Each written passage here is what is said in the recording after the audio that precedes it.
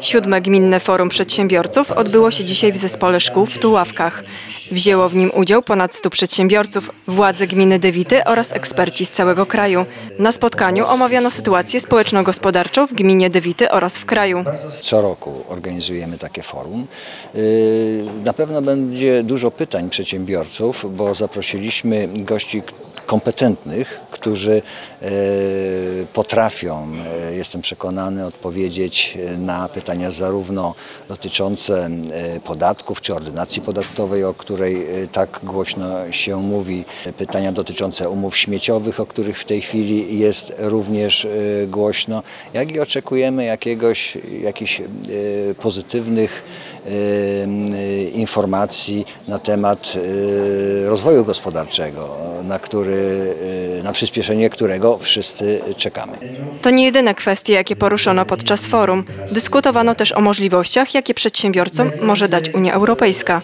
Mamy e, w programie e, zarezerwowane tematy, które wydają się bardzo istotne z punktu widzenia przedsiębiorców. Będziemy e, mówić o regionalnym programie operacyjnym Warmia-Mazury, z którego będą mogli w przyszłości korzystać i pozyskiwać środki na realizację różnego rodzaju swoich przedsięwzięć. Na forum poruszono również kwestie ochrony środowiska. Rozmawiano m.in. o planie gospodarki niskoemisyjnej, którą przygotowuje gmina wraz z mieszkańcami i przedsiębiorcami. Ważnym tematem jest również dostępność szerokopasmowego internetu na terenie gminy. I jak mówi sekretarz gminy forum, jest najlepszą okazją, aby poruszyć te zagadnienia. Na forum zostali zaproszeni wyjątkowi przedsiębiorcy, którzy nie tylko prowadzą biznes, ale także wspierają mieszkańców. Generalnie staramy się e, obserwować, co e, w naszej gminie się dzieje, również e, w zakresie przedsiębiorczości. No i zapraszamy zwykle my, tych, którzy działają na terenie naszej gminy już od wielu, wielu lat, mają realny wpływ na to, co w naszej gminie się dzieje, bądź też nawet są dostrzegani na szczeblu krajowym, a również i międzynarodowym. By podkreślić zasługi za wybitne osiągnięcia na rzecz rozwoju i promocji gminy, przedsiębiorcy zostali nagrodzeni symboliczną warmianką. Wśród nagrodzonych znalazła się Konfederacja Pracy Lewiatan. Na forum reprezentował ją Grzegorz Baczewski. Przyznał, że taka nagroda motywuje do dalszego działania. Tak, to jest bardzo miłe, ponieważ y, Konfederacja Lewiatan jako organizacja pracodawców stara się zawsze e, e, realizować zasady od- odpowiedzialności społecznej, odpowiedzialności biznesu.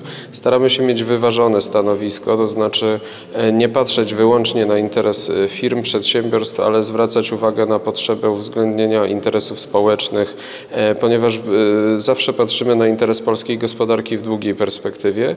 Obok pracodawców nagrodzeni zostali również społecznicy, którzy sponsorują lokalne przedsięwzięcia, podnosząc tym samym komfort życia mieszkańców. To wynika z potrzeby. Doszliśmy do wniosku, że ta gmina jednak jest to województwo warmińskie, tu szczególnie dzieci są. Może to już trochę taka jest historia, ale są to tereny popegeerowskie.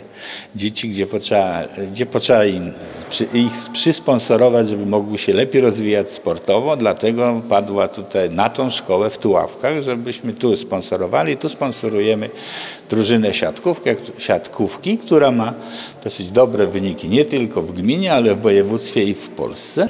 Jak zauważają przedsiębiorcy, forum jest bardzo potrzebne, bo jest źródłem informacji i integruje lokalnych przedsiębiorców.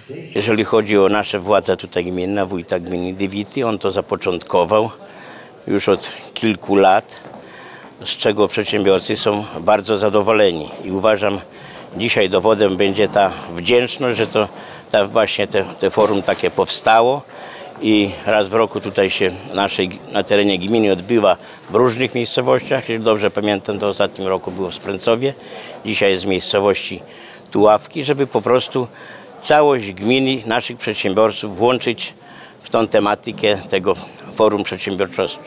Siódme Gminne Forum Przedsiębiorców oprawił występ mistrzyń Polski i Europy Cheerleaders Soltare. Na obszerną relację z wydarzenia zapraszamy po fleszu dnia.